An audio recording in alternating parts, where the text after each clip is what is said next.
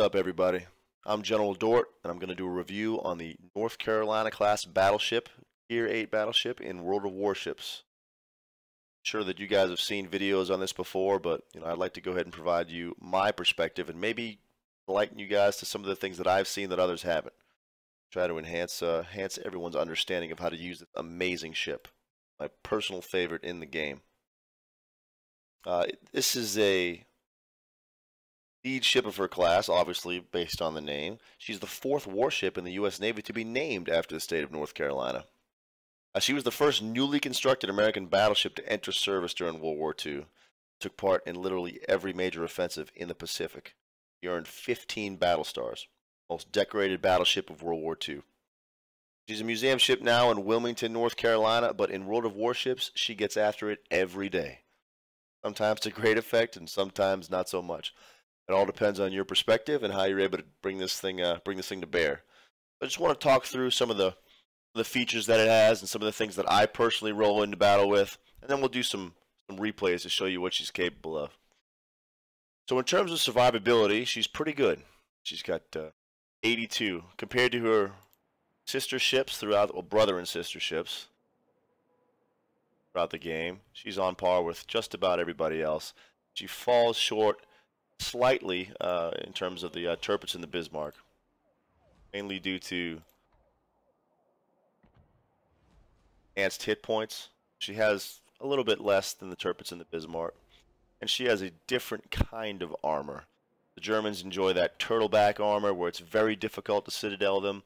North Carolina is citadelable if she's not used properly based on you know, see how flat the side is right there. It's not very good for trying to block rounds. Tirpitz in the Bismarck. Though it appears that it's same, it's rounded and it's got uh, an interior design that is more conducive to able to block shells. However, her frontal armor is pro. She can block a lot of shots. Blocking this thing is you go bow in with this thing and you're going to annoy anybody that you face. Best option is going to be just to burn you down. I don't personally like that style of gameplay, but in competitive gameplay, like uh, any kind of league, 12v12s, clans are facing off against one another. We've seen it with Supremacy. We've had Fight Night. You get the Omni Cup and all that stuff. Go bow in. It's uh, it's quite annoying, and most people either burn you down or they just uh, choose a different target to shoot at and then focus you last.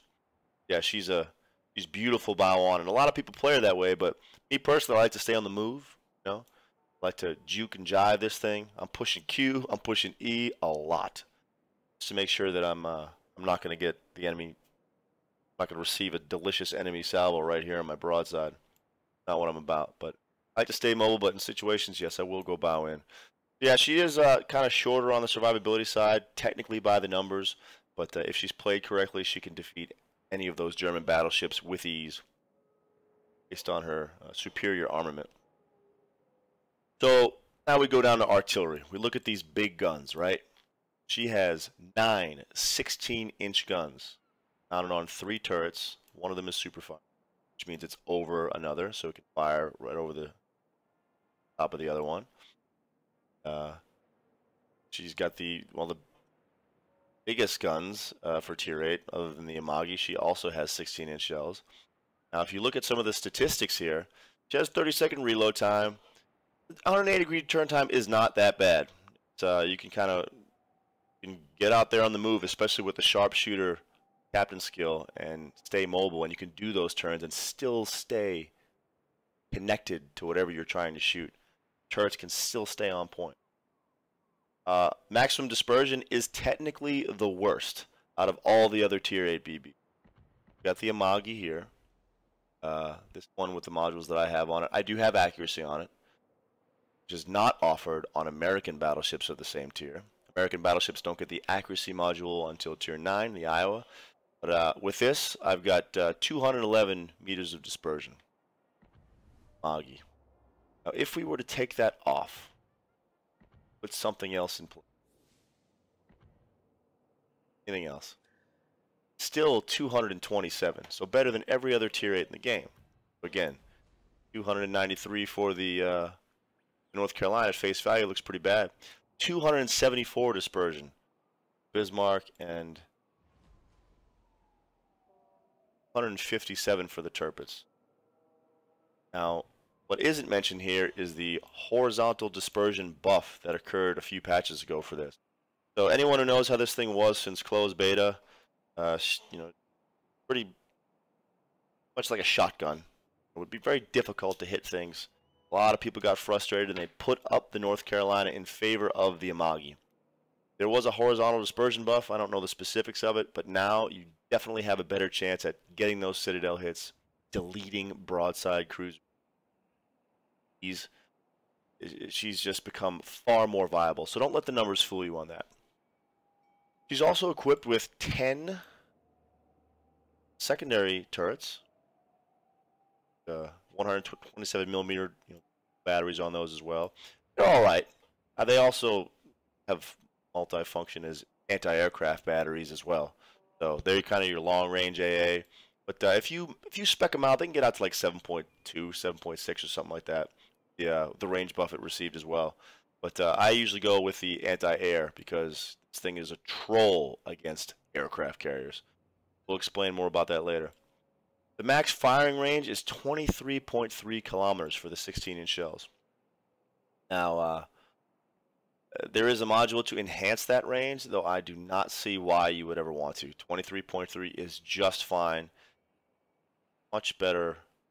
You have much more module efficiency and other kind of arrangements. Now, this is the reason why I love the North Carolina. The anti-air defense. It is rated at 100. Okay, which blows everyone else out of the water tier 8 wise. So the Amagi enjoys a 60 AA rating. 62 for the Bismarck, 59 for the Tirpitz. Now, just for argument's sake, even if we were add anti-air and captains on here, it could get up to maybe like 80, maybe even 90. But uh, the North Carolina just goes over the top. And if you run this with the flags that provide you an additional 10% anti-air effectiveness, I mean, you're looking at you're trolling tier 10 CV, let alone tier 8. You know, you're going to be very effective uh, at keeping those mosquitoes off your team's ass. Definitely don't want to caught up on. But uh, you have maximum A range of 7.2 kilometers. That's where these uh, five inch gun turrets come into play, and then it gets smaller with the 40 millimeter Bofors, and then the 20 millimeter, and uh, by the time they get into 20 millimeter range, the planes are just vaporizing away. There's really nothing more that they can do. If CVs come after you, they're either inexperienced or they just see that you're the last ship or one of the last ships left and they have to get rid of you. They have no other choice. So be very it would behoove you to position yourself in such a way that you don't take HE damage too early. You don't want to lose those precious anti-air turrets, especially if there's a CV in the game. Uh, and really be a pain in their ass late game and troll them pretty well, especially with a manual fire, which we'll go into later. Maneuverability, she's at a 38. Uh, 760 meter tur turning radius. It's not the best, but uh, you know, see 870 for the Amagi, 850 for the Tirpitz and the Bismarck. Maybe it is the best. How much I know about my ship nothing apparently. So she turns better than just anybody anybody else. So um, I was mistaken, but that should tell you that in this ship you are at a great advantage if you push QQQ, EEE, and whatever. You know what I'm saying? Uh, you, you, just just continually move your ship and don't take stupid unnecessary damage. She's got the maneuverability for it. So her base rating is uh, what 38. The turning radius is good. But uh, the maximum speed is better on the Amagi uh, and the Tirpitz and the Bismarck. North Carolina only comes in at 27.5 knots, but as a result, I think she could turn a little bit better. And her rudder shift time is 13.8 seconds. So it's better than the Amagis, uh, but not better than the Bismarck and the uh, Tirpitz. Again, she can still move pretty well, in my opinion. And you definitely have to have the rudder shift module. it's a must on any battleship, in my opinion. You got to be able to avoid torpedoes and uh, turn into torpedo bombers if they get that close. Who are in North Carolina. Concealment's 42. Um, 13.7. I've got it down to that with the modules. I don't use the concealment captain skill at all. She could be detected by air 11.3. How does she stack up with her with her sisters and brothers? 15 kilometers. Sister here, the Amagi counterpart. Her brothers, because you know the Germans call their battleships males instead of females, sitting at 14.3. Uh, so she does have the best there with uh, with the modules, and all my battleships are equipped with the uh, concealment module, so about as good as it gets. You can stay hidden pretty well. All right, let's go into modules real quick. Uh, you have the option of getting a B hull. You have the option of getting Mark 8 Mod 2 for enhanced firing range increase, and you you know you have a propulsion module that you need to need to get as soon as possible as well. You don't want to be driving around in a stock North Carolina. And the North Carolina B hull does provide additional AA turrets, stuff like that. So it would behoove you to get that as you know, as fast as possible. I used to run on this auxiliary armaments modification to protect my AA mount survivability. Found that that was the wrong answer. Why? Because for some reason it felt like my turrets made of glass. And they would just, every salvo, anything within 10 kilometers, AP from another BB, they would get knocked out, uh, either temporarily or permanently. And there's nothing more frustrating than when you have both of these bad boys knocked out, and your only option is to reverse into the enemy and use this as the front of your ship to engage. That has happened to me. So now I run with the main armament modification. Right, gives me a plus 50% to battery survivability and a minus 20% chance of it becoming incapacitated. It has made all the difference in my gameplay. Again, these are your primary batteries. They should be protected the most because there is no guarantee of a CV joining your game. Uh, for my second spot, I do have the AA gun mod, uh, mod 2. I want that extra range. I want this to be a troll for aircraft carriers. I want it to be the bane of their existence. I want them to look at this ship and think, no thanks, I'm going after somebody else. Period. I don't need the extra range for the plotting room. Uh, I don't need the uh, enhanced traverse speed, and the secondaries are very situational. I don't need those as well. It's not worth the AA sacrifice. Even though sometimes if I'm not seeing a CV and I'm playing ranked, I will definitely run with the secondary mod. Alright. Third, damage control, mod 1. Gotta take it. Anything you can get to the negative risk of flooding and fire on a battleship, it's a must. Shouldn't really be a thing. All right, steering gears modification for this. Negative 20 to rudder shift time. You pretty much need it because your rudder shift is slower than your counterparts. You have the 13.8. Uh, barely slower than the, barely faster than the, um, the Amagi, but definitely slower by a lot. Interprets in the Bismarck. Bear that in mind. And then I always take concealment. Whatever I can do to reduce my detectability, I will do within reason. Not using a captain skill forward or anything, that's nonsense. Go to the exterior. I run the premium camouflage on it because I, I want to I think it looks pretty cool, and I don't mind the buffs, and the perks, and stuff like that. But um, I think you should definitely run negative detectability, 3%, and negative 4% to the dispersion of the enemy. If you are not running camouflage on a battleship, you are doing yourself a disservice. I've run into people in the game that have simply uh, used the excuse of, well, I can't afford it. Listen, can't afford it. 22,500 per game, all right? All you need to do is wreck a decent amount of faces when you get in there. There's plenty of flags and stuff to enhance your ability to receive credits. And if you're running premium, you should never have an issue with credits. Not even a little bit, not by a long shot. So run camouflage. Don't be that guy or gal who runs into battle with nothing on, looking naked as the day you were born. Right? Help yourself out. Treat yourself. Don't cheat yourself. Signals. If I have them available, I like to run the plus 20 hit points. Always. Whenever I can. I want to get that 20% uh, amount of HP for the uh, repair party. Uh, I will run negative 20 ref flooding recovery time if I've got available. Definitely run the consumable flag, November Foxtrot. If I have dead flags in certain situations, I'll run that as well, especially in a, a very highly competitive form of play like ranked battles or anything like you know um, uh, clan versus clan, you definitely need to have negative 20% to the time of fire extinguishing.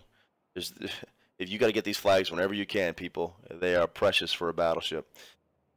If I'm trying to troll an aircraft carrier and I know there's a lot of CVs in queue, I will bump these November Echo Setteseven on for the plus 10% uh, uh, damage per second to AA. Uh, 10% average damage to the mounts and stuff like that, and the rear the rear gun, whatever. I just run that flag because it's it's especially trolly. um, and I like to run. Those are really the the big ones, you know. If I'm grinding out a captain, I'll use XP, but I don't have that issue anymore. Look, I have 2.6 million free XP on this thing. I'm not not hurting for any of that.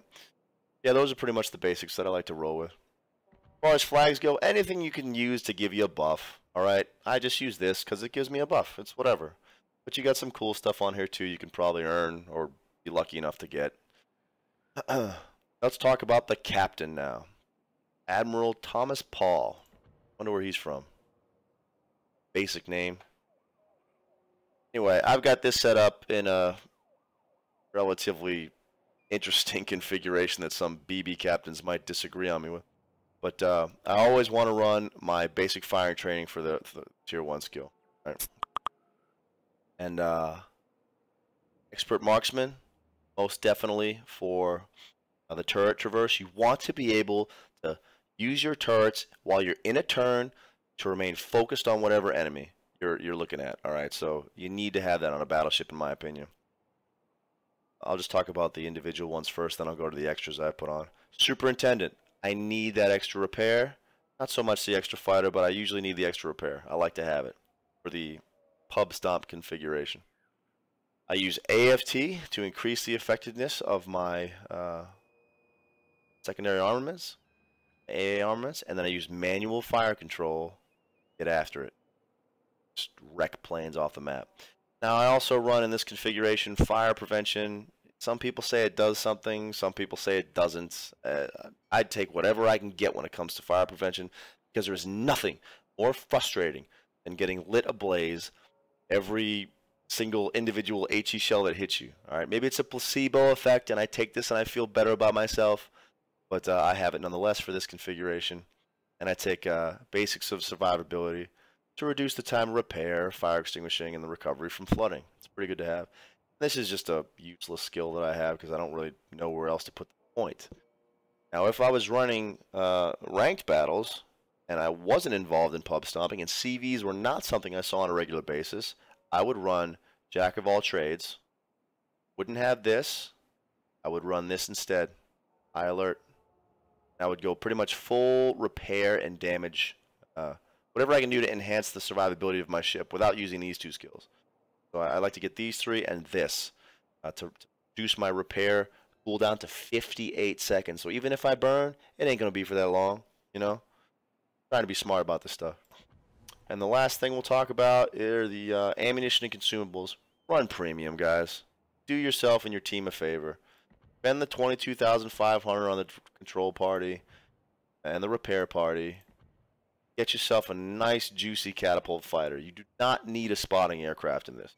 What are you going to hit in North Carolina from 27 kilometers away? You're going to hit the ocean. That's what you're going to hit. Not very, uh, not very good to uh, to roll with. Okay, but yeah, she's a she's a beautiful ship.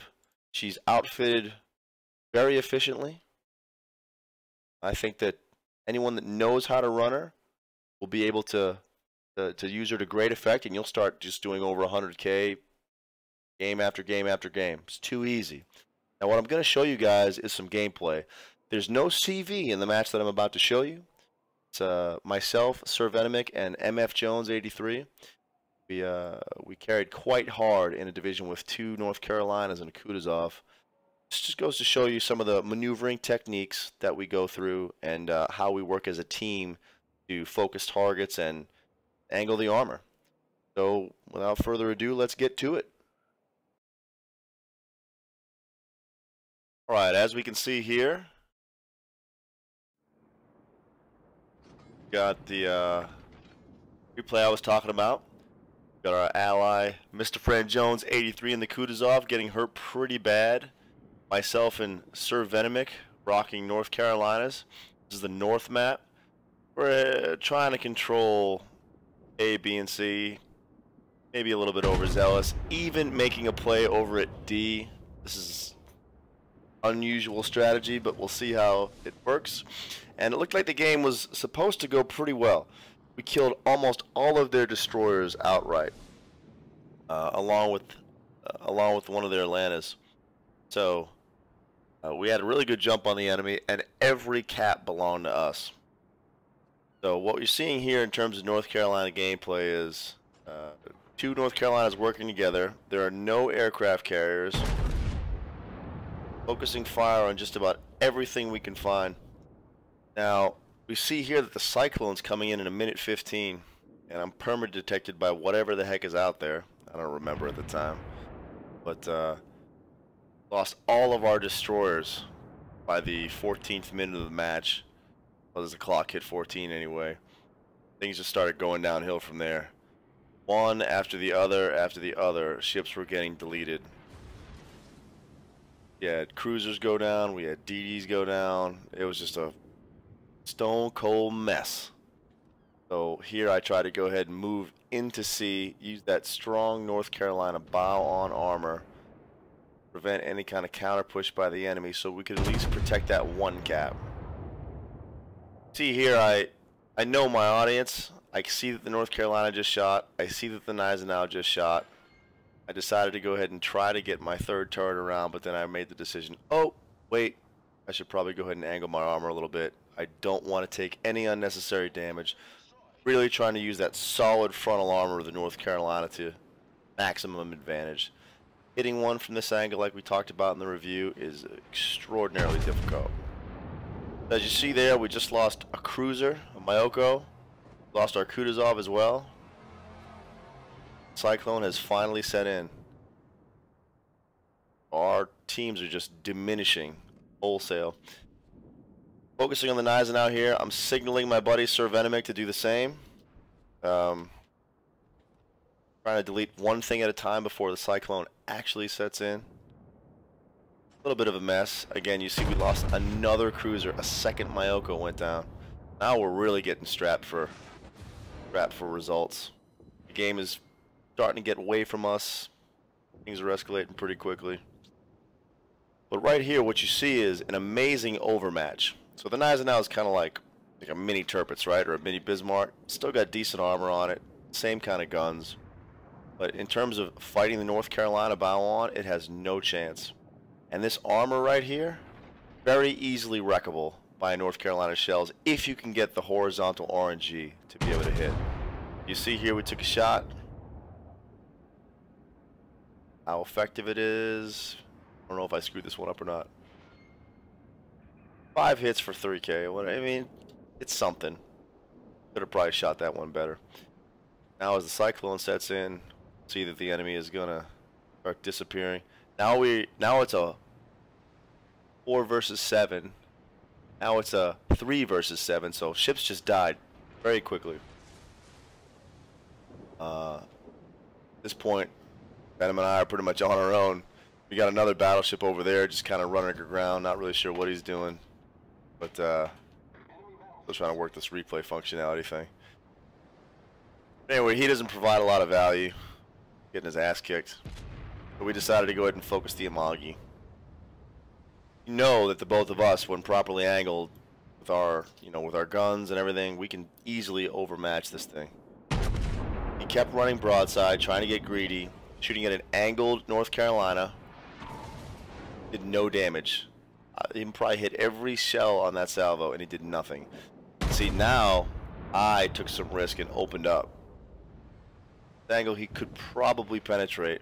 Didn't matter though. He was on reload. He was turning out, running scared. Kept the focus fire on. Increased the pressure. At this point, we had one hell of an uphill fight. thing about the North Carolina, you know, there's so much, so much awesome stuff you can do. You can brawl, you can shoot reasonably well from a distance. You can post yourself up behind a hill and just nuke airplanes and become a 7.2 kilometer no-fly zone for the enemy. Well, really a 14 kilometer no-fly zone, right? But uh, it's just such a such a versatile piece of equipment. You just got to be able to keep it angled, keep it alive, make sure it doesn't take any unnecessary damage. Got to be understood that we really couldn't have done the things that we wanted to do if we had gotten killed early. We very well may have been able to protect, you know, preserve the game and preserve some of our team initially, but uh, point really no big deal. See, guaranteeing about eight 8k of salvo on the Amagi. Take a torp there. What it is. Part of life. So the three of us were able to go ahead and neutralize the Amagi pretty efficiently. Most of us have decent health. So at this point, made the decision to move from C back to B, try to get some caps down there play this evil game of ring around the rosy. No one wants to friggin' do it, but it's part of life.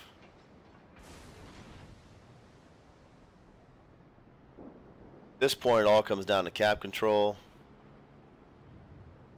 focus fire, finding out where the enemy is. You also want to take advantage of enemies that really don't know what the hell they're doing. Like, safe play right now is to just cap it out, let everything just, you know, let everything just roll the way it will. Just deleted a plane right there. Uh, some enemy teams, even though they're up a lot, they'll YOLO in. They'll make life extremely easy for you. You can pick them off piecemeal. That's one by one, if you don't know what that means. And when you can do that, you've got a shot. Always love to see people just YOLO in one by one. It's a beautiful situation to be in turns an impossible situation into something far more manageable. So here the Tirpitz, even though he's low health, decides to take the lead into the cap. Terrible decision. I mean, look at what he's got left in the tank. Almost nothing.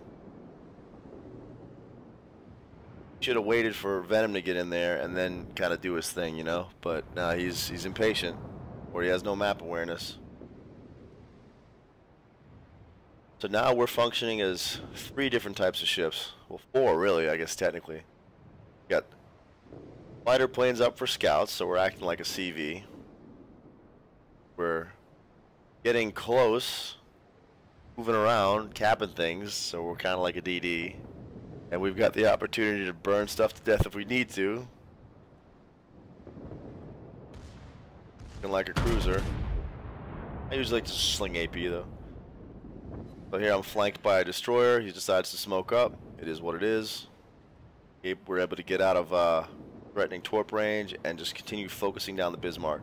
Now the Tirpitz just not having a good game here or something. I don't know what the deal is, but he decides to run broad to the enemy with 3k health left.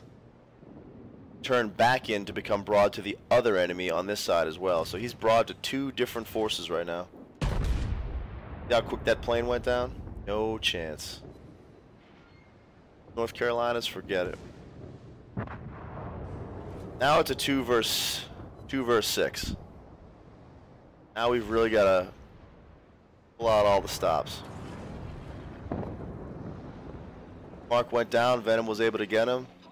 Now it's time to go after this North Carolina. Now look, he's not stupid either. His name's Professional Noob, but guy semi knows what he's doing, right? He's he's bowing to us. He's backing out. He's not trying to give too many uh, angles away.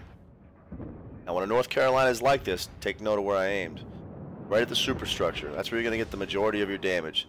Anything here, anything here will most likely bounce. So right there is your sweet spot at this angle. Venom's working on his superstructure as well. Secondaries lighting fires. Now this is where the North Carolina excels. The knife fight situation. Drive-by shooting You can't just sit here. You're trying to win the game. You have to kill things quickly. You gotta creep up on the flank of the enemy and do the best you can.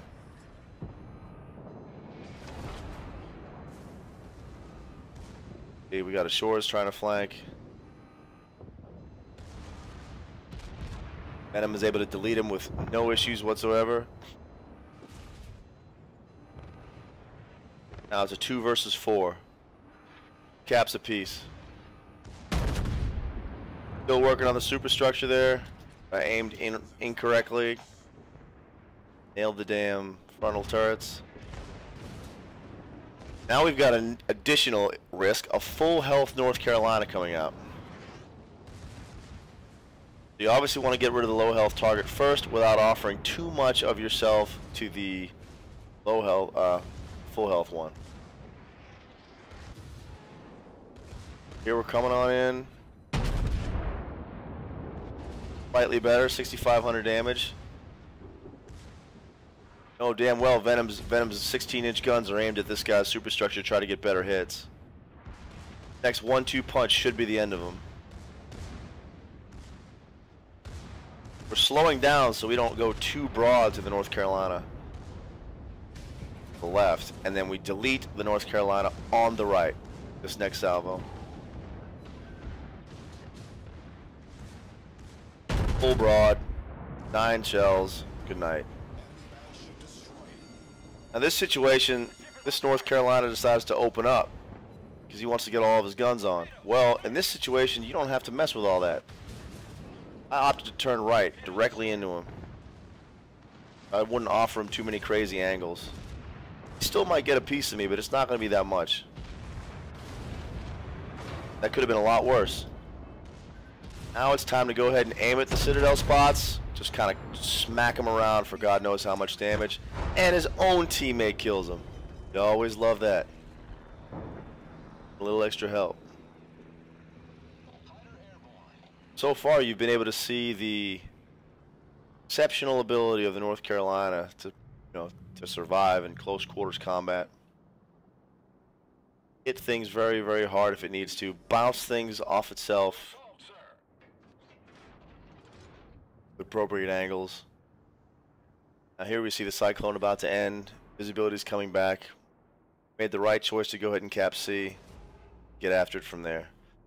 Yeah, I chose this replay because it's the most recent replay that I have of us doing something fun in the North Carolina. Um, I might post something in the future about dealing with aircraft carriers and how you kind of work on that formation. I usually like to run with a Shokaku and uh, and a destroyer. That's kind of like my favorite thing to run with. Sometimes I'll take a cruiser, but depends on their skill level.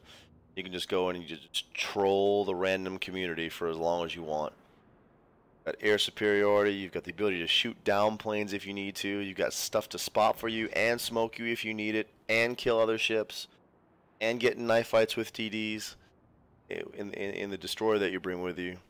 Uh, it's a good way to kind of farm damage. You're planning on using the North Carolina. I think if you're going to use the North Carolina, you run with an aircraft carrier, use it to its max ability. To its strengths, you know. If there were never any CVs in the game, I would just run an Amagi purely for the accuracy. Yeah, she's a beautiful ship. Uh, I hope you guys have fun with her. Got any questions? You can come uh, hit me up on Twitter. Uh, leave some comments here in the on the on the YouTube page. Then I got my Twitch feed, obviously, twitch.tv slash generaldort. Come check us out. And we stream about five to seven days a week, depending on how little of a life I have. But this is my first video. I appreciate your feedback. Uh, I'd like to see what you guys can offer to make the channel better. And um, I'll work on doing some other stuff later on. You guys have a good one and stay salty. Peace.